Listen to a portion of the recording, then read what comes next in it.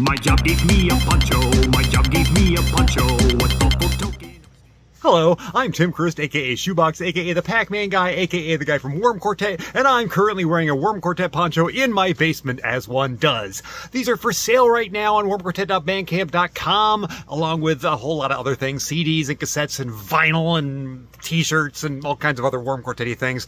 Uh, it's wormquartet.bandcamp.com, and everything's on sale through this Sunday, 30% off with the code DISCOUNT, damn it. So, like, buy things.